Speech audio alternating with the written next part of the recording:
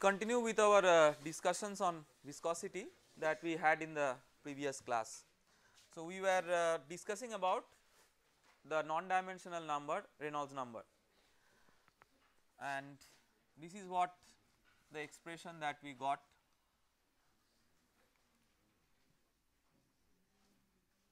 By sort of trying to relate the inertia force with the viscous force in whatever problem we are trying to see whether there is a relative dominance of inertia force over viscous force or not uh, this number is useful. Even in other contexts when the inertia force as such is not there that is the fluid is not accelerating but it has some energy which could have been utilized to accelerate it to an extent even in those contexts uh, that may be compared with the viscous effects which are present in the flow through this non-dimensional number. And this is a very important number. We will see later on that this will sort of dictate that what is the nature of the flow. Is it laminar? Is it turbulent? And so on. These terminologies we will understand uh, and appreciate later. There are many other non-dimensional numbers. Till now we have seen maybe 3 non-dimensional numbers Knudsen number, Mach number and now Reynolds number. Now let us try to see that can we develop a kind of interrelationship between these three? Of course it is not possible to do it for the most general case but perhaps for the most simple case that is like the ideal gas. Let us see that whether we can develop a kind of relationship between these. For that we recall that uh, what was the viscosity for the ideal gas that we derived? Let us see. So it was some alpha into square root of 8 RT by pi into rho into lambda. This was the expression. this alpha is typically a fractional number like 1 by 6. Uh, so, uh, for this type of scaling estimation its exact value is not so important. We are just trying to see uh, sort of the nature of the functional relationship between these. We substitute that mu in the expression for the Reynolds number. So, what we get is rho V L divided by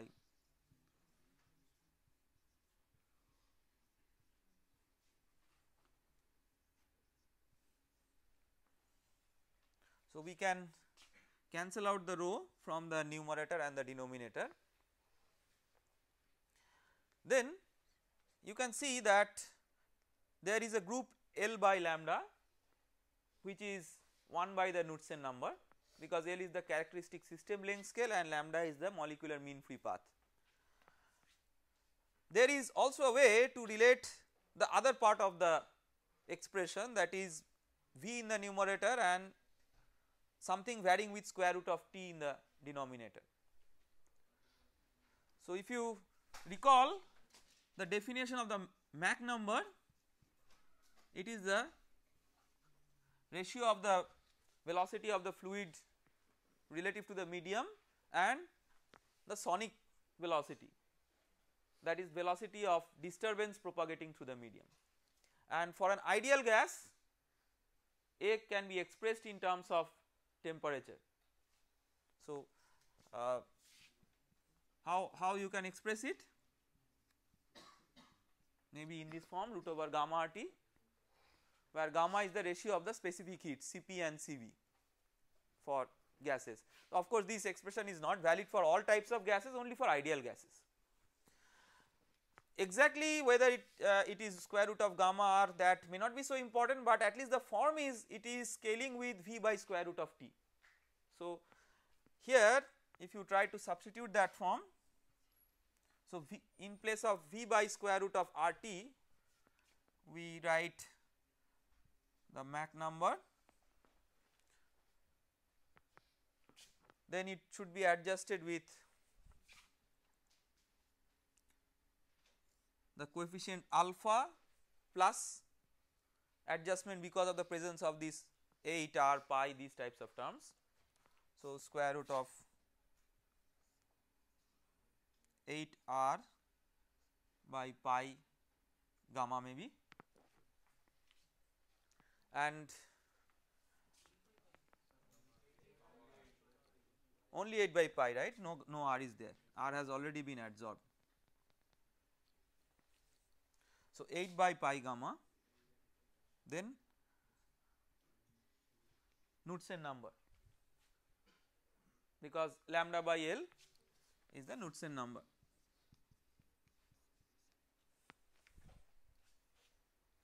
So, we can see that Knudsen number for an ideal gas will roughly scale with Mach number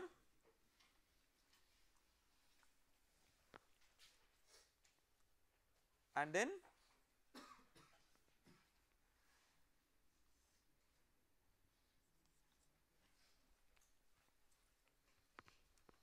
So, Mach number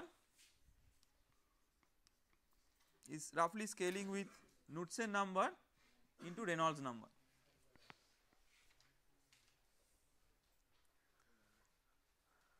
So, if it if the Reynolds number is high that means the fluid is having a high inertia on the top of that if the Knudsen number is high then there is a high probability that it is having a great compressibility effect because it is trying to enhance the Mach number also and we have seen already that Mach number is a sort of indicator of how compressible the fluid is.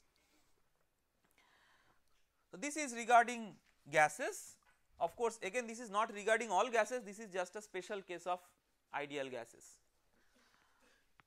If we go to real gases the situation may be more complicated but at least what we can appreciate is that the viscosity of gases should try to increase with increase in temperature. The relationship is not as simple or straightforward as this one for real gases because for the difference between the real gas and the ideal gas in this context is straightforward.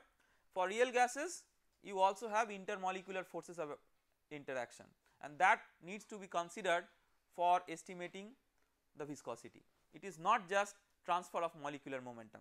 So, a combination of transfer of molecular momentum and the intermolecular forces of attraction for any real substance will determine that what should be the viscous nature of the fluid. If you come to liquids as we have discussed earlier that for liquids the viscous behavior uh, is predominantly due to intermolecular forces of interaction.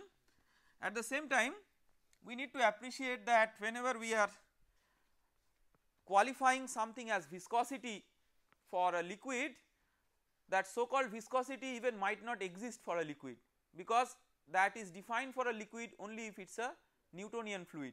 But there are many liquids which are not Newtonian fluids those are called as non-Newtonian fluids. The obvious connection with the name is that they are not obeying the Newton's law of viscosity and uh, whenever you are having a fluid which is not following the Newton's law of viscosity then uh, its constitutive behavior that is how the shear stress is related to the rate of deformation it may be very complicated it may be a uh, involved nonlinear function. We will uh, not go into the details of how these nonlinear functions are derived or how these forms look like. One of the examples is like you may have the shear stress is related to a power of the rate of deformation that is theta dot I think we used to denote the rate of deformation. So, one may have this related to theta dot to the power n. So, this type of relationship this is an example of a non Newtonian behavior.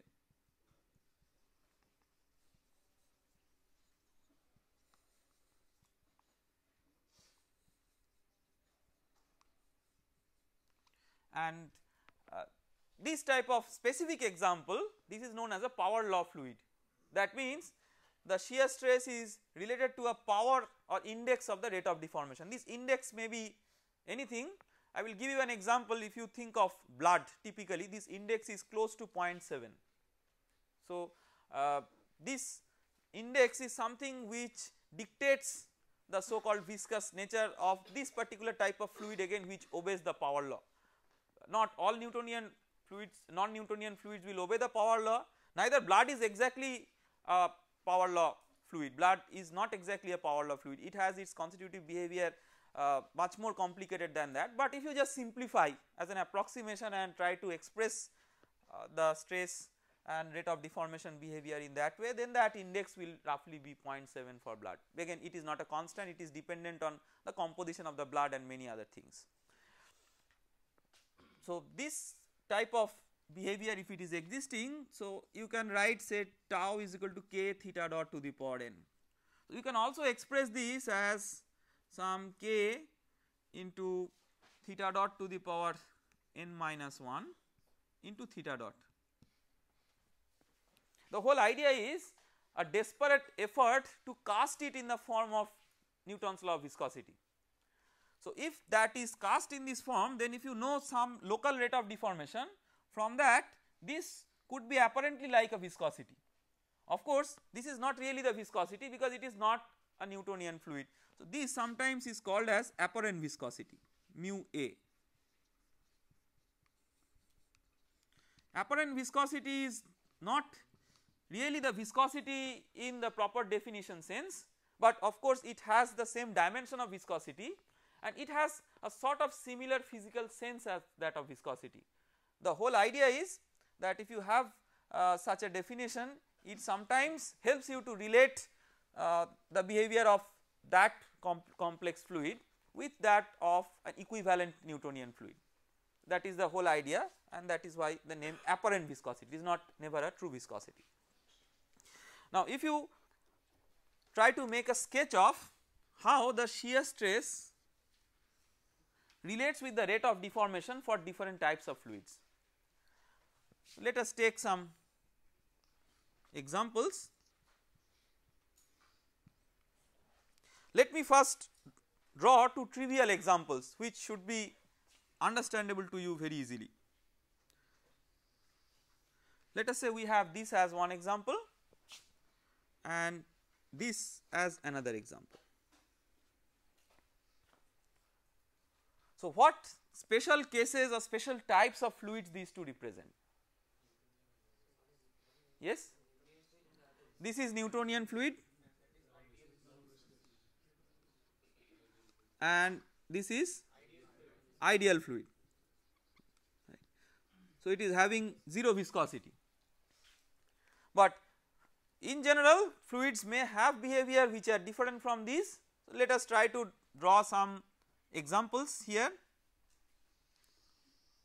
One case may be something like this, one may be something like this, even you may have something like this. So, that is why if uh, if you take an example like this, this really puts a serious question into the definition of the fluid. Because it shows that there is something which is of fluid type, but it requires a threshold shear to deform. And there could be many such types of substances. Think about a case that you have a toothpaste in a tube right? You need to press it to apply some shear before it starts moving out. And with negligible shear it will not flow. Of it will require a threshold amount of press before it starts moving. So, this that is also a fluid because it flows. And uh, its many of its characteristics are explained nicely with the equations of motion of fluids, but it is not that classical definition that it will start deforming with infinitesimal shear. So, this uh, type of example is a very interesting example, but there are other examples which are more classical as fluids. So, for example, if you consider this particular case, this is known as a dilatant fluid.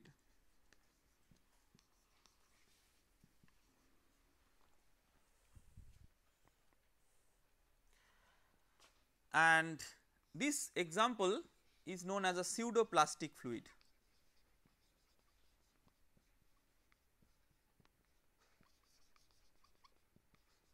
This uh, by the way this name is known as Bingham plastic fluid. These are names uh, which have originated from uh, the detailed studies of rheologies of substances and it is not so important that you have to remember these names, but these are just to give you ideas that uh, there are different categories of so called fluids based on the shear stress and rate of deformation behavior. So, some of examples of these types of fluids let us say dilatant fluid. So, uh, like butter or printing ink these types of fluids these are uh, known as dilatant fluids. So, what are the characteristics of these if you see that as you increase the uh, rate of deformation uh, the, the, the, shear increases with the rate of deformation uh, or and and if you see that uh, for a pseudoplastic fluid then also if you increase the rate of deformation the shear increases right but it it comes to a sort of state like this. So, the name pseudoplastic comes from the fact that you may relate this type of behavior with the plastic deformation of a solid so to say. So, it, it is as if like uh, there is some substance which is undergoing a plastic deformation as a solid goes. So, if you have say a solid piece and you have heated it with a hammer very good old forging processes. So, then uh, the material will be soft and that may be easily deformable. So, a solid uh, type of material will start flowing and in, in mechanics of solids it is sometimes known as plastic flow. So, it is it is not that a fluid is flowing, but a solid is moving as if it, it is a fluid. So, uh, the critical demarcation between the fluid and the solid is often not there so to say and uh, there may be examples of these types of fluids like pseudoplastic fluids as uh, say polymer suspensions. So, if you have suspensions of polymers. So, if uh, say there is a system in which there are aggregates or uh, there are chains. Now, it is possible that there are two things which are possible. One is if you are applying a shear then the aggregates or the chains of particulates they may be broken so, you are having a system in which you have some liquid type of substrate in which you may have some particulate inclusions and they have formed aggregates so to say. Now, you are applying a strong shear if you are applying a strong shear those aggregates may be broken and it may give rise to the availability of new flow passages. So, it may sort of help the fluidic motion. So, viscosity is sort of opposite to fluidity that means uh, if it allows it to flow more easily we intuitively understand it is less viscous. On the other hand sometimes it may be possible that uh, because of formation of local aggregates and so on uh, the movement of the fluid ensures that fluid elements are entrapped within the local aggregates and then uh, they are in great entanglement and they cannot come out of those entrapment and flow. So, di different substances uh, are therefore different. In some cases it happens that because of this type of entanglement the flow cannot take place so easily. In certain cases these aggregates or chains may be broken and it may help uh, the fluid flow to take place uh, in a much easier way.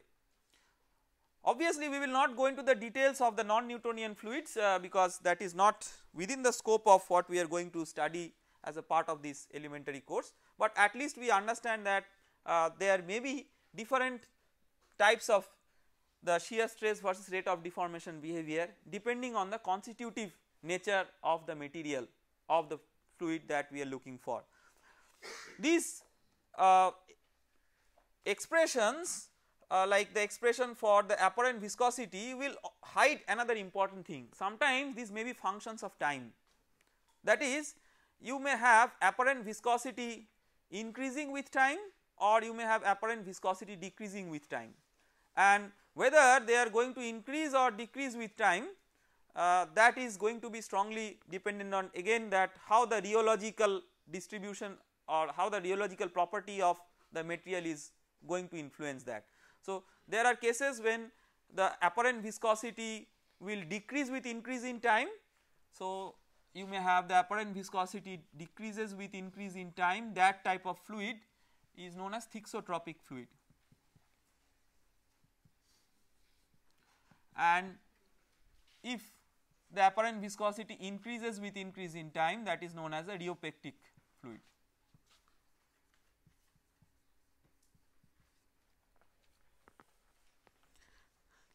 At the end it is a physical field that uh, how the fluid will look like and uh, how the fluid behaves in presence of a strain. So, let us look into maybe one or two uh, examples with movies to understand that what type of uh, flow behavior we are going to expect for different fluids. So, let us see maybe one first very qualitative example.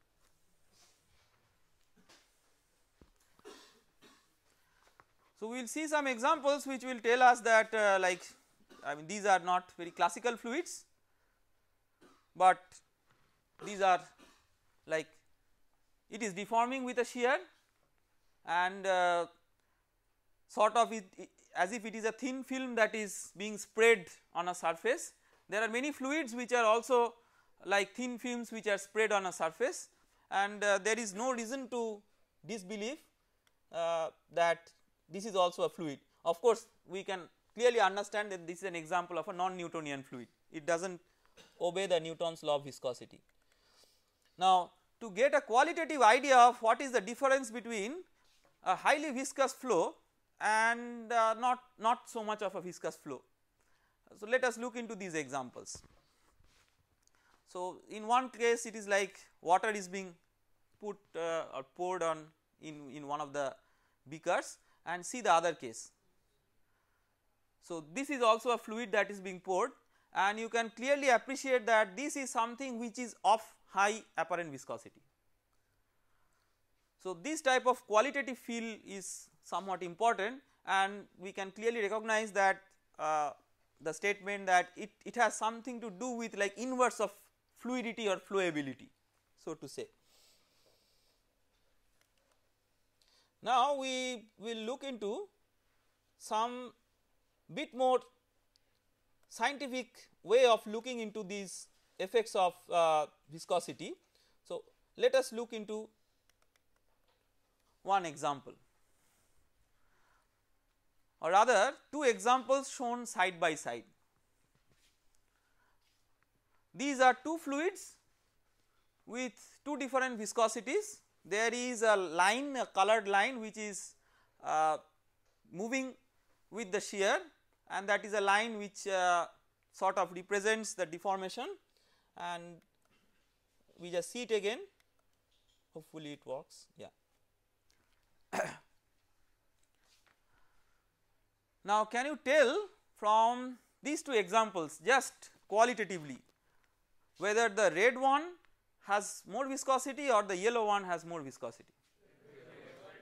The red one has more viscosity. How do you understand that?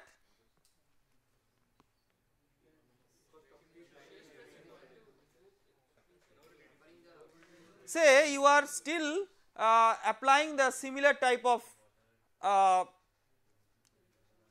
influence or similar type of motion actuator for these two. But if you see uh, the red one let us play it again and then understand.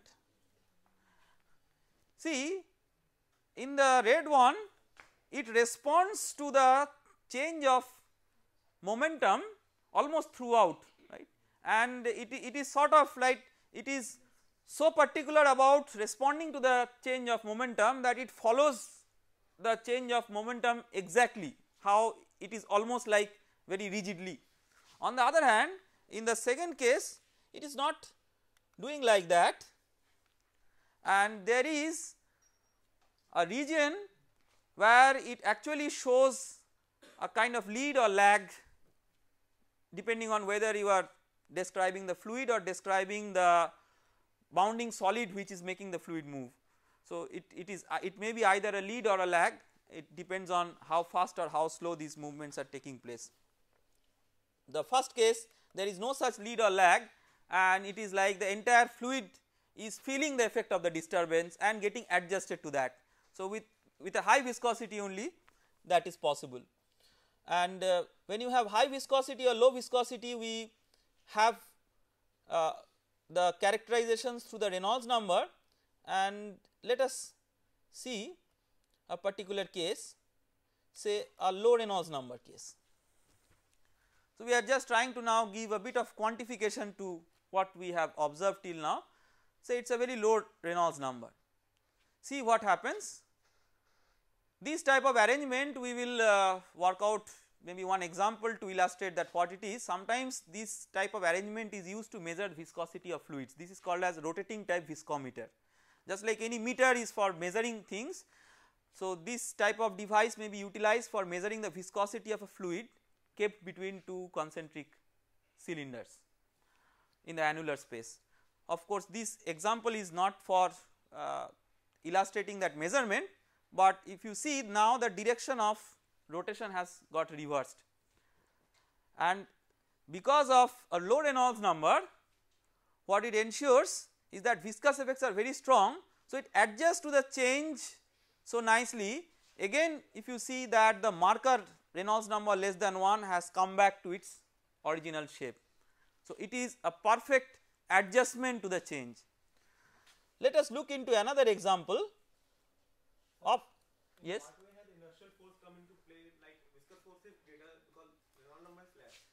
Yes. So it is moving along with the medium. See inertia force as I told you that it is not exactly always the inertia force as such. If it is not accelerating it is not inertia force but it is having some kinetic energy which if could have been utilized to accelerate it, it could have been uh, it could have given rise to some inertia force. So, when we are having low Reynolds number keeping that effect unaltered the lower the Reynolds number viscous effects are stronger and stronger. So, when we are comparing two cases the other effect which is present in the numerator is almost something which we are not disturbing, but what we are trying to see is that what is the relative change in the viscous effect Uh, in the two cases. So, if you see this example now it is being reversed and it, it does not come back to the same situation if we play it again we can see that it does not come back to the same state with which it started. So, we are having a particular deformation the fluid is trying its best to adjust to the deformation by propagating the momentum disturbance that propagation of momentum disturbance is something which is not as efficient as in a highly viscous fluid. So, when it comes back uh, there is always a lag in that propagation of the disturbance and imposition of the disturbance and therefore, it is not possible that it entirely reverses back its state. So, this is a qualitative feel of uh, two different cases. In one case you have a highly viscous flow and in another case not not such a highly viscous flow. Yes.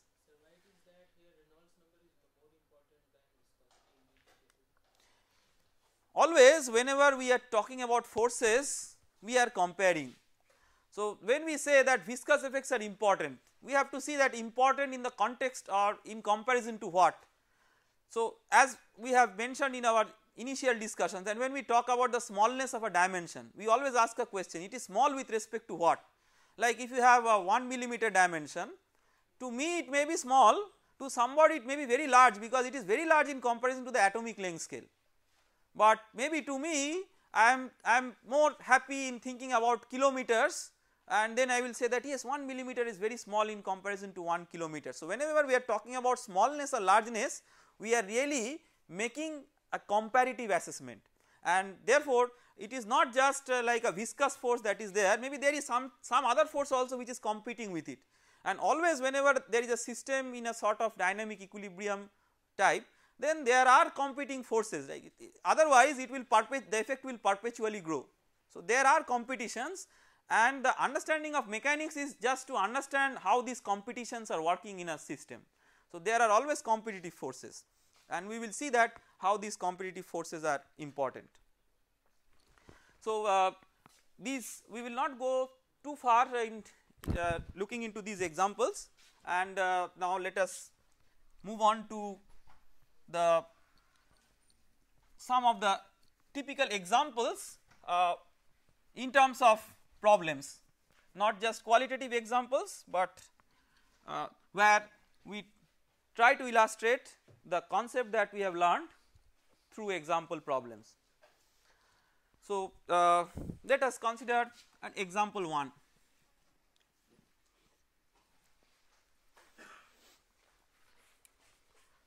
Let us say that you have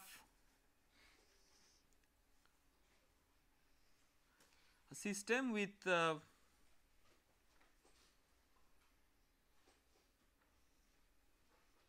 mass and pulley and string the kind of system that you always love to deal with in mechanics problems. So, we start with such an example because it will have a good transition from your earlier studies in mechanics to the mechanics of fluids. So, where we make a change is like we put some fluid say oil in the narrow gap between the block which is there on the plane and the plane. So, this uh, qualitatively is a narrow gap of uh, say height small h. Let us say that mass of this is uh, m1 and the one that is hanging is m2. We make further statements that it is uh, this pulley is massless and frictionless and also this string is inextensible.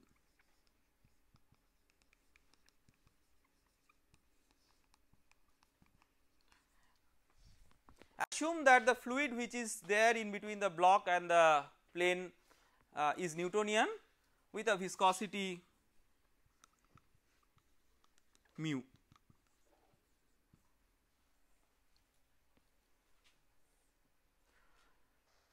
Our objective say is to find out what is the velocity of this block of mass m1 as a function of time.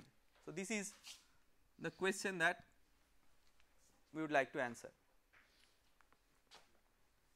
Okay. This is a very simple problem, but we will try to go to as much fundamental depth as possible for such a simple problem. We may start with the expressions and you will see the expressions are very intuitive we may write those easily, but we will start with the free body diagram of different elements which are present in the system to have a more thorough insight on what happens. Let us draw first the free body diagram of the pulley.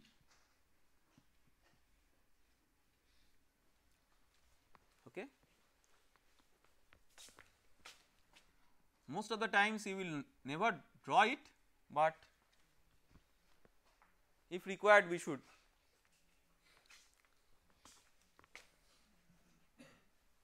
The pulley is hinged to this surface. So, the center of the pulley at the center there is a hinge. Now, what should be the forces which are acting on this? Normal reaction if you say normal reaction by whom to whom? Okay, let one by one. So, first uh, say we are talking about the hinge. So, what type of reaction you expect for the hinge? So, there are contact forces it is something which is occurring in a plane. So, in general you will be having uh, general force in a plane which may be resolved into two components. So, let us say that we are talking about two components Cx and Cy which are like arbitrary orthogonal components of the forces which are there at the hinge. Then tension in the string. So, here you have some tension T1, here you have some tension T2. For the time being let us forget about these assumptions which have been given massless pulley, frictionless pulley, inextensible string and then uh, we are not exactly using the consequences of these in drawing the free body diagram. So, in the free body diagram we are keeping everything as general. So, let us consider that the pulley might have a mass also. So, just to see that if it has, has of course it has a mass when we say massless we do not mean that it is literally massless we mean that effect of that is not significant that is all. So, whether the effect of mass is significant or not how will we understand these types of statements are very important like massless, frictionless, inextensible and so on. Most of the times you think that these are for beautification of the problem statements and at the end you come up with a conclusion which sort of abstracts you from uh, the path by which you have come to the conclusion. For example, if we say T1 equal to T2 right we will of course see T1 equal to T2 all of you have learned from your mechanics that it, it should be like that now can you tell that whether T1 equal to T2 is because of massless pulley, frictionless pulley, inextensible string or what? See now I am getting 3 different answers from so like if it is a multiple choice question massless, frictionless, inextensible, all the above, none of the above or many choices are given to you. Let us see let us see which one is the fundamental and which one is dominating. So, if you think that the massless is, is the thing that should be put in question, so let us consider that it has a mass and see that what is the consequence. It will help us in understanding that what would be if it is massless. Let us say that MP is the mass of the pulley, so it has its weight also. Okay. Now what we do is we want to get an expression between T1 and T2. So if we take moment of all forces with respect to C the 3 Cx, Cy and Mg these get cancelled it helps us in obtaining a relationship between T1 and T2. So what is uh, that basic equation that we are looking for resultant moment of all forces with respect to an axis passing through C perpendicular to the plane of the board is the moment of inertia of this pulley with respect to an axis which is the same as the axis with respect to which you have got the moment times the angular acceleration. So, if say capital R is the radius of the pulley then you can write this straight away as T1 minus T2 into R. If it is the, the pulley is like a disc as an example say if we call it half m r square.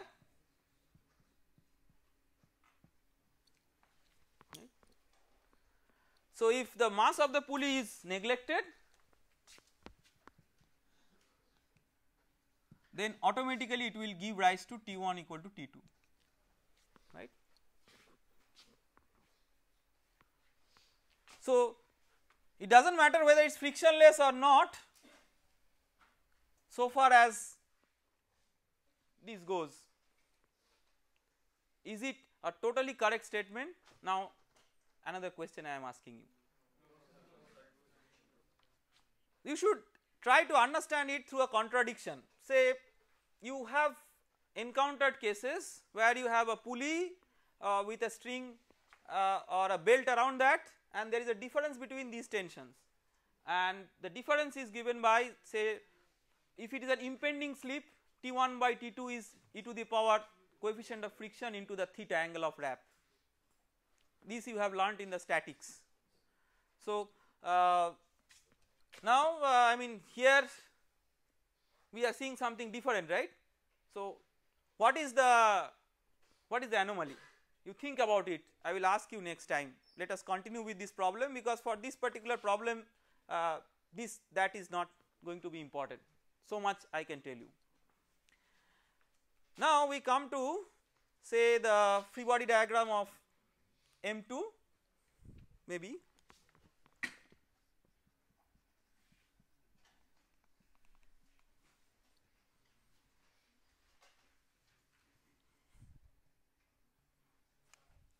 So you have the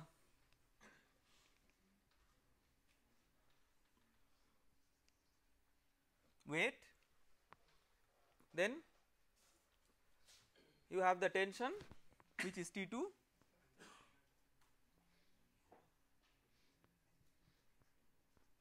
of course T2 is equal to T1 and then if the system is released what would be the direction of motion that you expect. So this is uh, coming downwards and this is expected to go towards the right. So understand the physics of this problem when it is moving downwards it is tending to go towards right there is a resistance at this interface which does not want to make it go towards the right so easily. So it is somewhat like a friction and that friction here is sort of lubricated it is not a direct contact between two solids but there is a thin film of liquid uh, in between. So uh, that means if that is the case then if it comes down let us say it comes down with an acceleration a. So if this comes down with an acceleration a which is you may say this a is like dv2 dt. So when it comes down with an acceleration a you expect that m1 also moves right towards right with an acceleration a. Again by which assumption? It is there inextensible string. So inextensible string had a role to play here. Massless pulley we have seen had a role to play here. And yes frictionless pulley also has a role to play here because the belt is being wrapped around the pulley and because of friction there may be a difference in the contact forces between the belt and the pulley. So that will be more apparent if you draw the free body diagram of the belt and see its interaction with the pulley. So when you have when you are thinking of interaction between the belt and the pulley that is not considered here and that is not considered implicitly because uh, it is frictionless so important interaction is through friction. Normal reaction will always get nullified even if it is considered because you are taking moment with respect to the center. So all these have been used in some in some way or the other. Let us draw the free body diagram of M1 which is the important matter so far as the understanding of viscosity goes. So if we draw now the free body diagram of M1. Now you tell what are the forces which are acting on M1.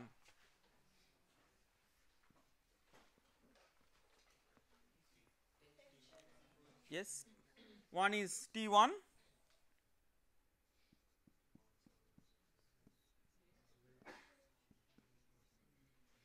there is some normal reaction to the what is the origin of this normal reaction?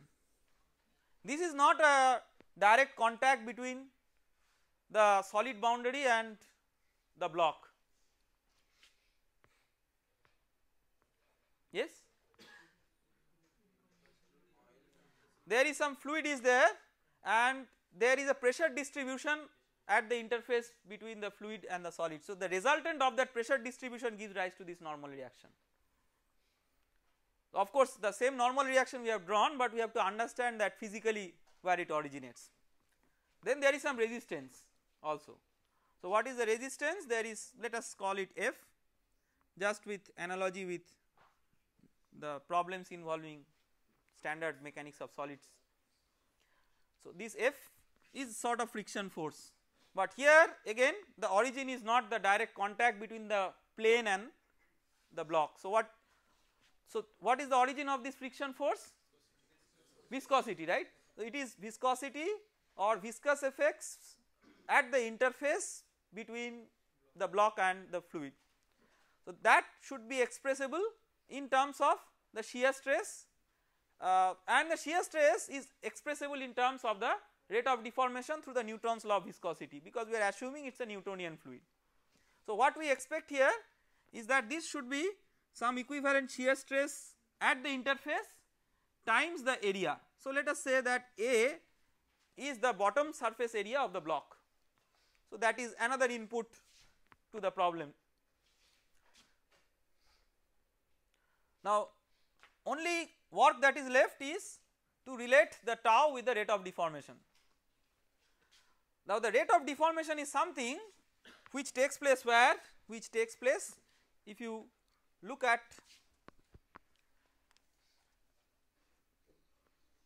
the magnified view of what happens in this thin film.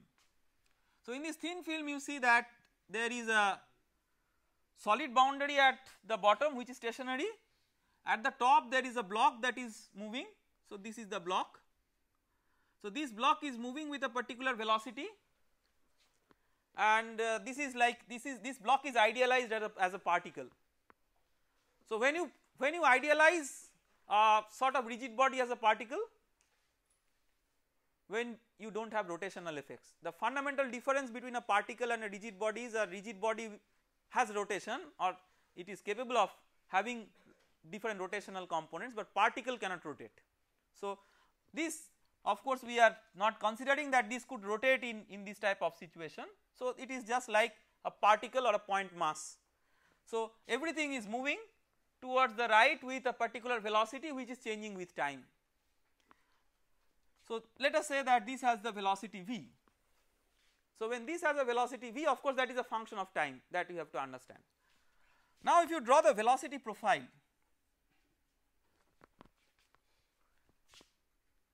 at any section which includes the fluid between the block and the plane. At the wall because of no slip boundary condition it is 0. Here what should be the velocity of the fluid? It should be v that is also because of no slip boundary condition. So, no slip boundary condition is not 0 velocity of the fluid, but 0 relative velocity. So, if the solid moves with that velocity fluid will also move with that same velocity. Now, see the catchword again a very nice catchword is there there is a narrow gap. So, narrow gap means this thickness h is so small it is so small that this variation of velocity between 0 to v may be assumed as linear okay. Now if you see that this shear stress let us now complete the expression for the shear stress it is mu times the rate of deformation. Rate of deformation could be different at different y locations but if it is a linear profile it is same everywhere because rate of deformation is related to du dy that we have seen. So rate of deformation in, in such a case is du dy where u is the velocity. So if u versus y is a straight line du dy is a constant. So this for our present case will become v by h.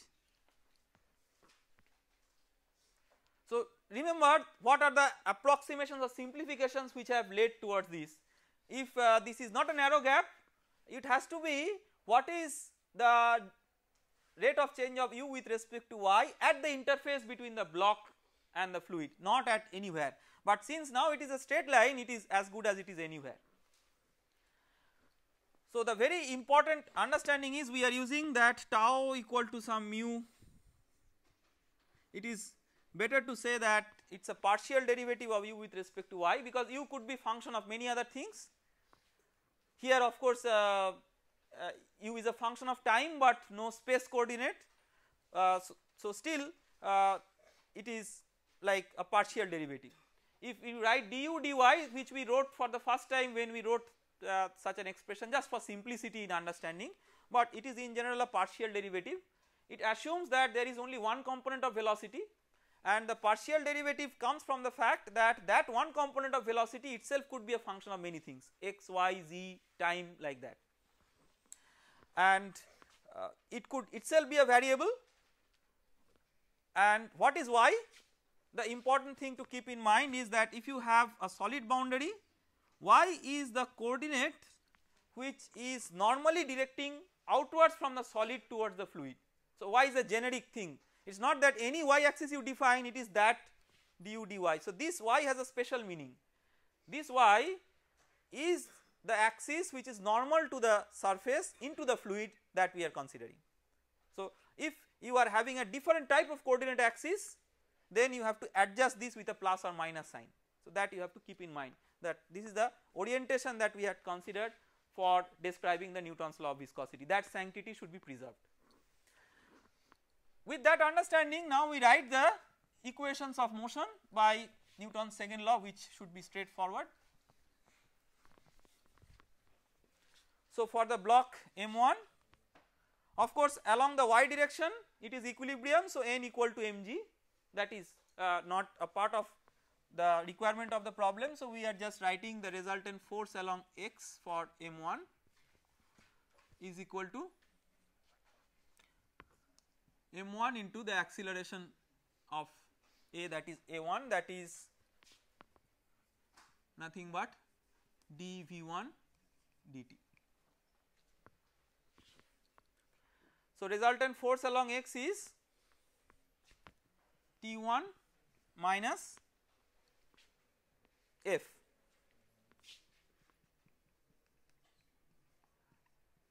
Since it is an inextensible string we will have V1 equal to V2 equal to V. So, very soon we will write in place of V1 as V or V2 as V where V is the common velocity with which the system is moving. So, you can write T1 minus mu V by H into A is equal to M1 d V1 dt. Let us say this is equation number 1. We write next the equation number 2 which should be for the mass M2. So, let us draw uh, the free body diagram of the mass M2 or that is already there. So, we just write its equation. So, it is now along y we are considering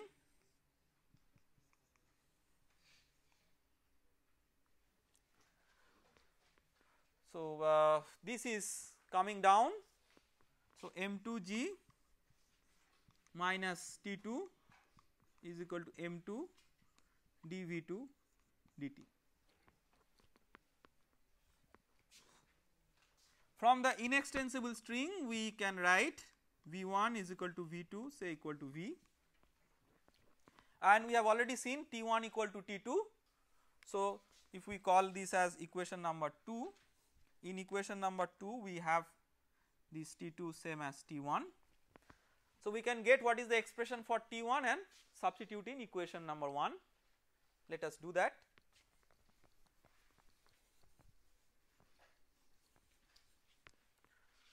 So, from 2 we get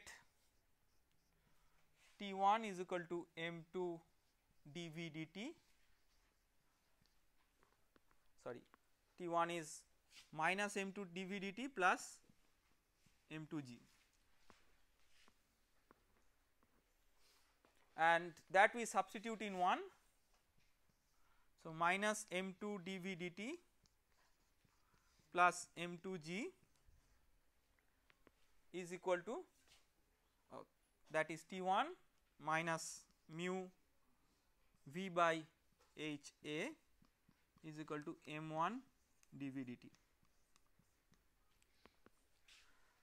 So, you have m1 plus m2 dv dt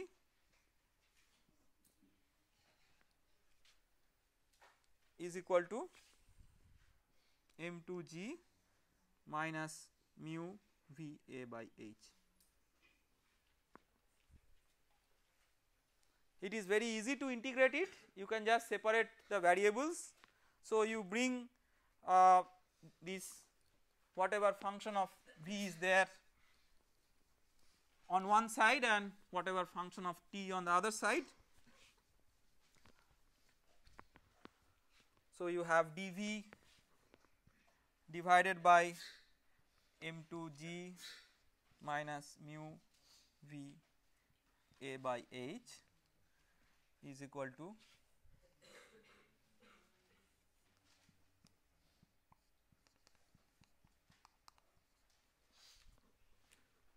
So, you can integrate it with respect to time. Say at time equal to 0 the velocity was 0 or v0 in general maybe if it was having an initial velocity and at time equal to t say the velocity is v.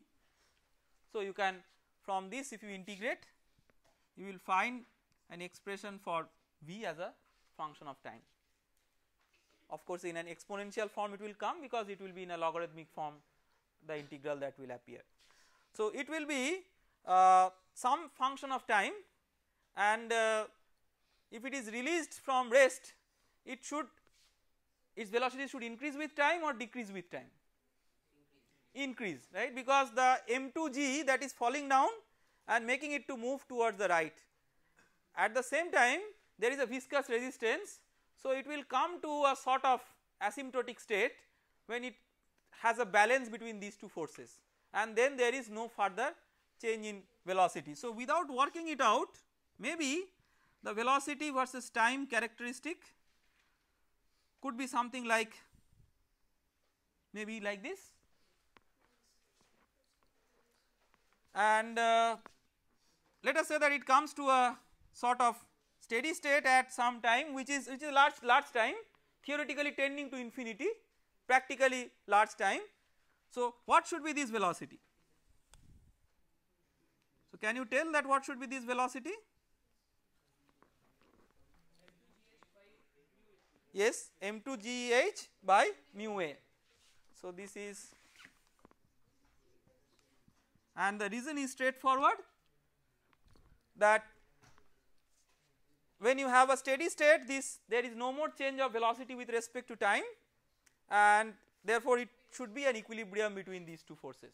So that would give rise to this type of expression. So whenever we work out a problem it is important that we also try to get a physical feel of what is happening, try to formulate it in terms of the physical feel, try to get a sketch maybe of what is the variation and then it will be so easy to interpret whatever results you are getting whether they are correct or not or whether they are having some physical sense or not. Okay, with this we will have a short break and then we will continue with uh, the discussions on viscosity and surface tension in the next part of the lecture. Thank you.